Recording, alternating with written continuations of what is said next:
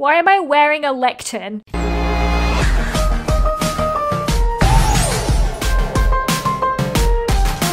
Hey guys, what's up? LD Shadow Lady here and welcome to LD Shadow Lady's makeover show. Today we'll be transforming this basic Minecraft witch hut. First a vanilla transformation and then a full modded makeover. So today I'm going to give this witch the home makeover of her dreams.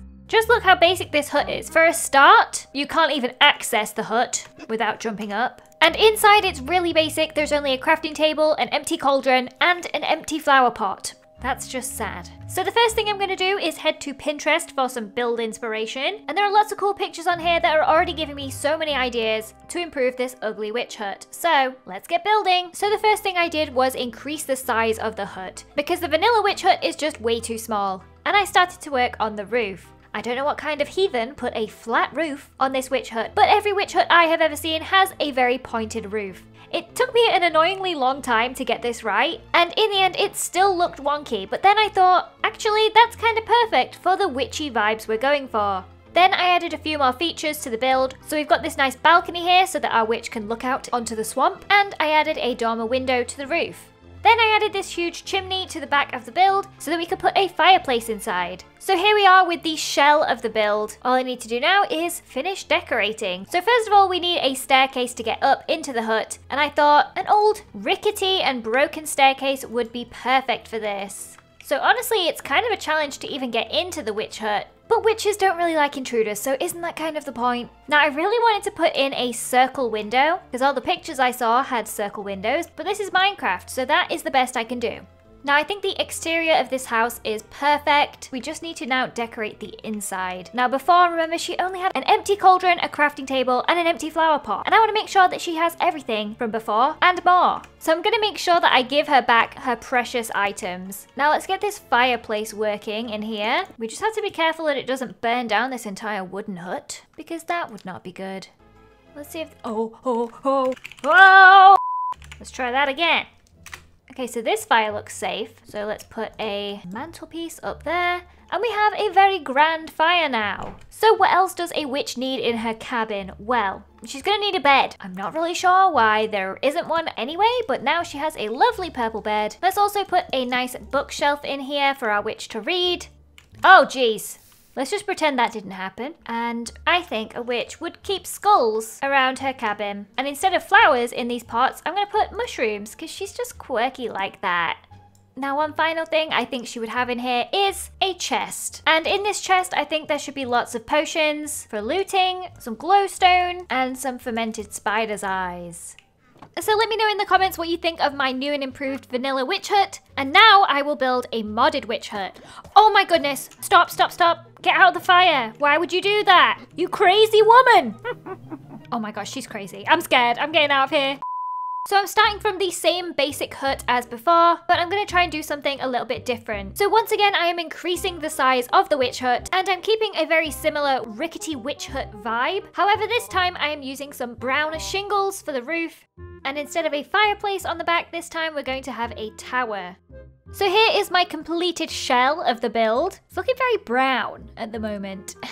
I think the first thing that I'm going to do is replace some of these stone bricks with cracked and mossy stone bricks there we go. Um, we should probably sort out the windows next. Now, instead of using boring vanilla windows, I have many more options. And all of the witch huts I saw had these crisscross windows. So let's add a bunch of these. Oh, they look so cool. So I'm just gonna place them kind of randomly around. I think these windows already make such a difference to the way that this place looks. Let's see what it looks like at nighttime.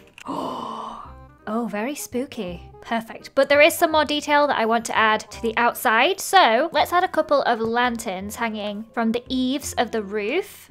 Next, I want to add a skull of an animal right here, but I tried adding this and it's kind of wonky. So what I'm going to do is build something really similar, except out of the Chisel and Bits mod. So let's just pop that there for reference and I will start building.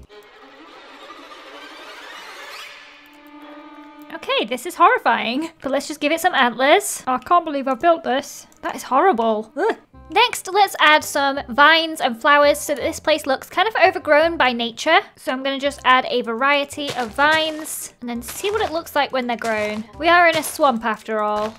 I hope this isn't excessive. Let's speed up time and find out. Oh, Oh dear, that's a lot of vines. Oh no, they're spreading like crazy. Oh my gosh, it went crazy on this side too. Well, I guess witches have just got better things to do than landscaping. I think she would have a scarecrow out here to scare people away. And of course, some pumpkins of all shapes and sizes. I think she would also have some wind chimes out here.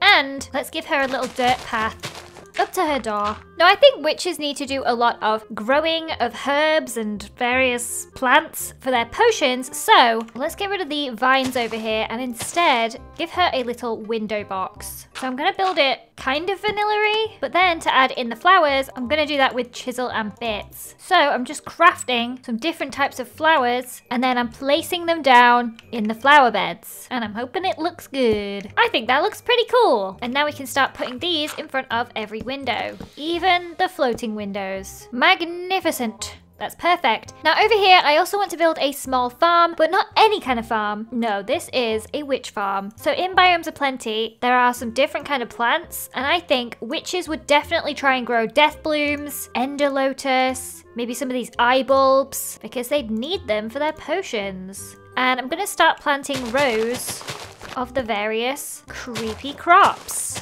Oh my gosh, those are horrible, but perfect for this situation. So let's plant a row of goldenrods as well. Some of these rafflesias, some death blooms, and finally, some end lotus, which have to be planted on these special end stone blocks. Ta-da! The most disgusting farm in the world. Now let's fence it in so that she can protect her crops. Now, if I was a witch, I would probably have a lot more fairy lights than this. Now, there are all kinds of spooky ones available, but honestly, they might be a little bit too tacky. But who cares, because they're adorable. So I'm gonna get the little black witch hats, the white skulls, some black spiders, white ghosts, and some orange pumpkins. These are either going to be adorable or hideous.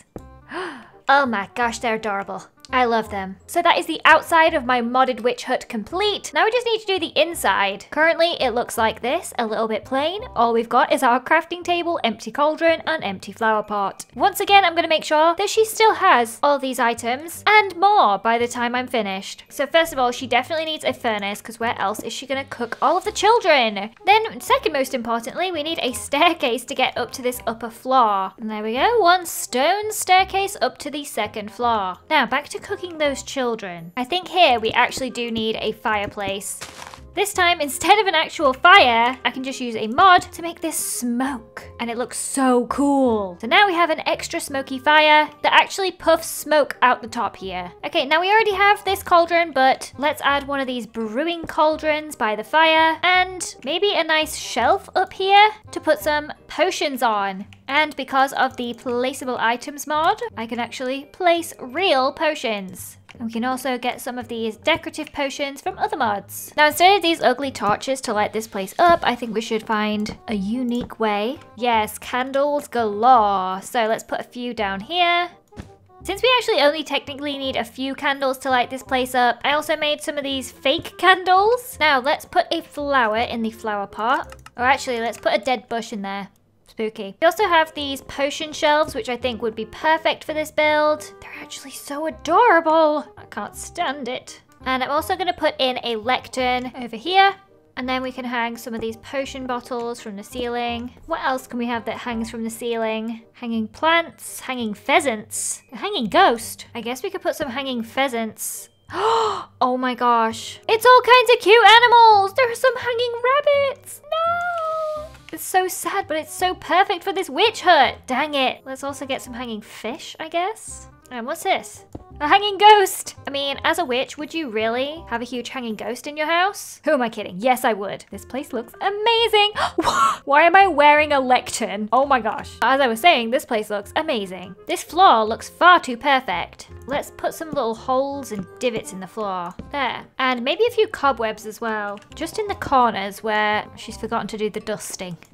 Oh my gosh, this baking table is perfect for the middle of this room. I think the downstairs is complete. Now all we have to do is decorate the upstairs. So up here, I want to go for kind of a different vibe, but still lots of candles because she is a witch after all. I'm not really sure what kind of a bed a witch would have. Ooh, probably this black four-poster bed. That is very witch-like. And I think we need some more shelves in here. And on those shelves, we will have some terrariums. So we'll get the Ender one, the Death Bloom one, maybe a dead terrarium, Wasteland, anything that sounds deadly, to be honest. Oh, and let's put one of these weird candle things down. Every good witch has a spinning wheel in her room and Let's get this writing desk over here. I could put an enchanted book on there.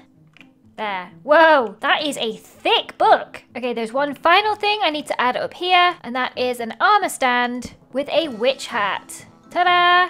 So the last thing to do is to spawn the witch in here and see how she likes it. I'll spawn her here and if she walks into the house, she likes it. If she walks out, she hates it.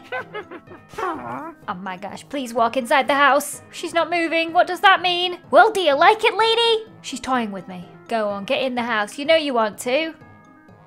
No!